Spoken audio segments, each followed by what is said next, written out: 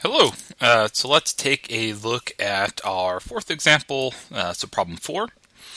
A closed tank contains a vapor liquid mixture of steam at 45 bar with liquid contents that's 25% by mass. Okay, so just looking at what we initially have, right? So it's a vapor liquid mixture um, at 45 bar. So I know that if I have a single component two phase system, I need just a single degree of freedom to pin down the state of my system. So one or uh, so pressure does it, uh, and then we are told that it's 25% um, liquid by mass. Okay, cool. Okay, so actually, before we go over to um, the rest of the problem, let's first try and take an inventory of, of what we're starting with. Okay. Ah, so let's start. Let's do what we know. Okay. Ah. with what we know. Okay, so uh, we have a pressure of 45 bars. Okay, okay, and it's 25% um, by mass uh, liquid. So I'm going to say that the quality of my vapor phase is 0.75. Okay, so let's go over to our steam tables. Okay, I'm going to go over to my superheated steam tables since I know they're sorted by uh, pressure. So at 45 bars, I find the TSAT's 257.44. Okay, so T is 257.44 uh, degree C. And then the specific volume of my liquid phase is 0.00127. Okay, and that's meters cubed per kilogram we have found specific volume of my vapor phase is 0. Point, oh, I flipped it around. 0.0441.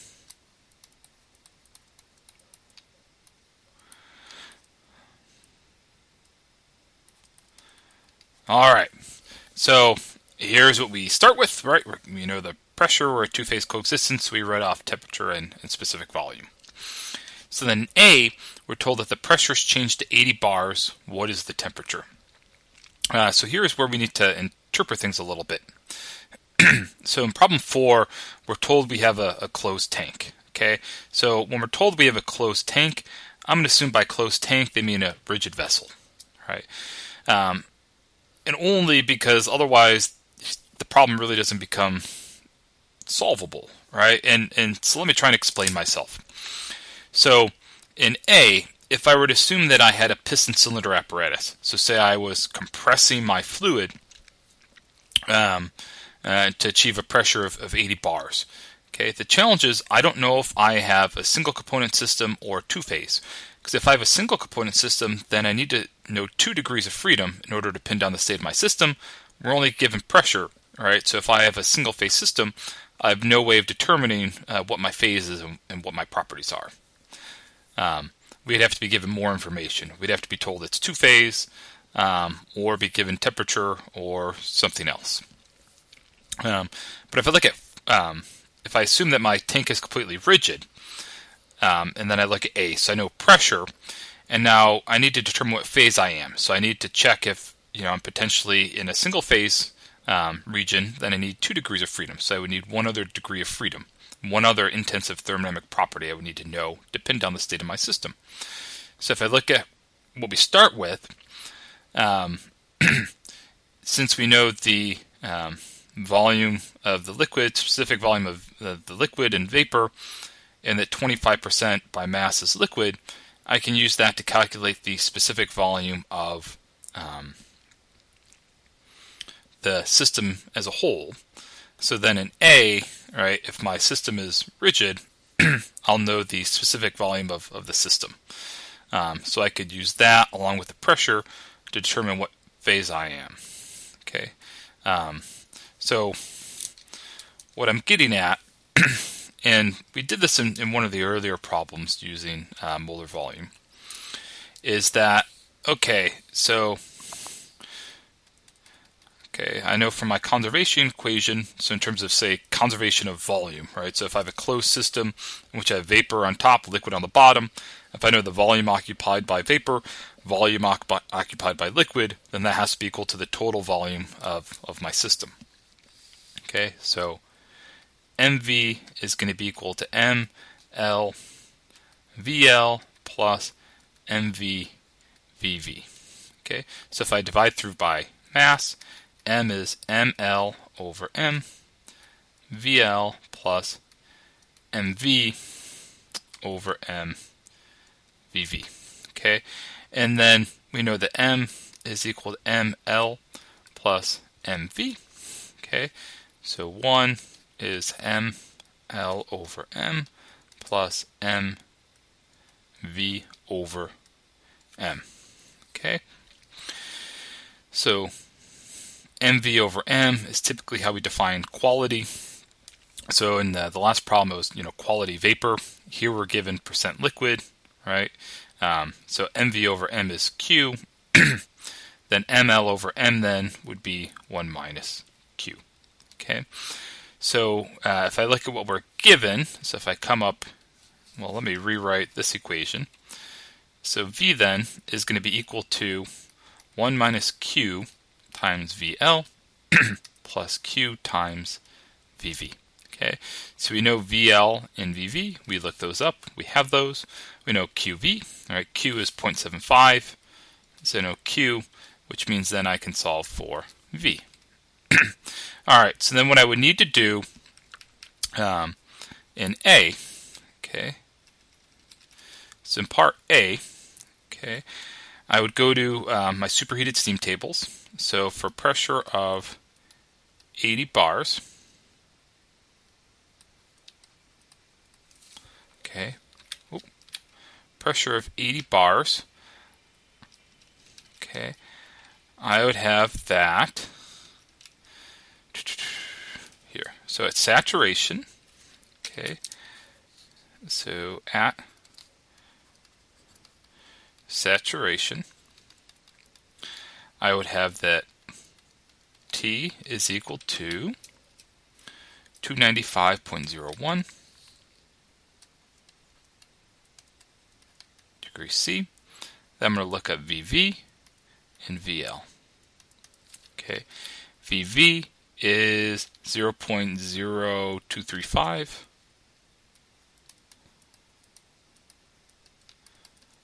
uh, meters cubed per kilogram.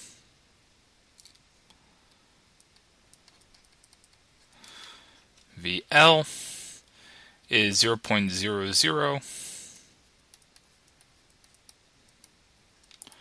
meters cubed per kilogram. All right.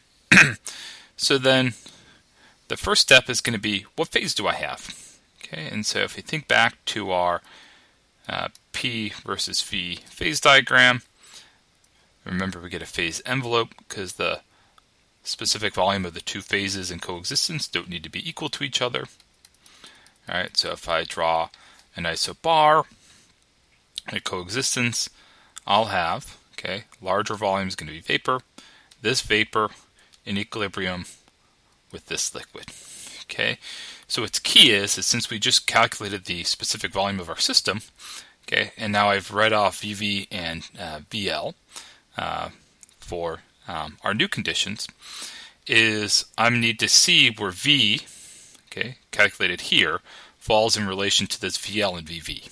Okay, so you know if uh, V is greater than VV, okay, that means I'm over here. Okay, that means I have a vapor. Okay, um, do like an else if, right? But if V is less than VL. That means I'm over here in the liquid phase. Okay, so then I have a liquid. Okay, and this would be like a superheated vapor or a compressed liquid. Or if uh, VL is less than V is less than VV, that means I'm in between the two of them. It means two phase. Okay, so gonna, you're going to have to use, and I'm getting cut off. I'm going to have to use, you'd have to use this V along with this VV and VL to first determine what phase you are. Okay, then I find it unlikely that uh, you have the second scenario. The first is going to be uh, if you have a vapor. Okay, and so if you find that you have a vapor phase, well, you know V and you know P. So let's just imagine that we find we're superheated vapor.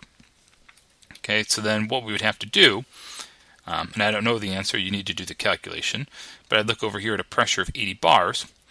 Okay, and if I need to find the temperature, I'm looking for what temperature do I have, you know, this given molar volume or specific volume. Okay, and so say the specific volume fell in between these two data points, well then I would need to interpolate to find T. Okay, that's scenario one. Okay, scenario two would be if it were two phase. Okay, um, well if it's two phase, well at 80 bars, um, you know here's Tsat, right? So that would be you know your your temperature for two phase. Okay, and so that's how you would tackle um, A. Okay, we figure out what phase we have and then uh, go from there. Okay, so if it's superheated vapor, then you go to the superheated steam tables and you're going to need to interpolate in T um, for you know your given specific volume. B, now the pressures change until the contents become 100% saturated vapor. Uh, what is the pressure? Okay, so B uh, then is actually a little straightforward. Okay, because what's going to happen is in B, okay, do we know the pressure? The pressures change until the contents become 100% saturated vapor. Okay, so now 100% saturated vapor, so that's still going to correspond to two-phase coexistence because it's going to correspond to a saturated phase, right? Uh, so it just so happens that, um, how do I want to think of this? Um, um, you know, you can think of it as you have a, a, container in which you have pure water vapor, and you are going to increase the pressure until that theoretical first drop of liquid forms. You know, essentially be like the dew point uh, of water. All right. Um, so it's you know a, a, theoretical limit, but still this would correspond to two-phase coexistence in which I have um, you know 100% vapor phase. All right, so now if I have a single component two-phase system, how many degrees of freedom do I have? One. Okay, so I need one degree of freedom to pin down the state of my system. Well, I have one because going all the way back to what we started with, we know the specific volume of my system. Okay, so then what you would have to do, okay, is if you want to know um, the pressure, then is you could either use superheated steam tables or saturated. Okay, Let's go to saturated, for example, just because it's saturated, so I suppose it would make sense. Okay, so once you know this molar volume, okay, um, and our system's going to be changed so that we have 100% saturated vapor, it's going to be that VV is equal to V. Okay, so we'll have that in B, it's going to be that VV is equal to V. Okay, VV being uh, your saturated uh, vapor volume. Okay, so what I look, you know, I could say look down this column for uh, when VV is equal to my calculated specific volume. Okay, so that's this column. All right, and so say once I find it, okay, um, so once I say find it, um, then you can interpolate to find uh, T, P, um, and whatever else you may want to compute. So it's V, the specific volume, is sufficient to pin down the state of your system. So then you would just go to your superheated steam tables, uh, find when VV is equal to that, to that, that, that specific value, um, and you have everything else. Okay, so cool. That's problem four.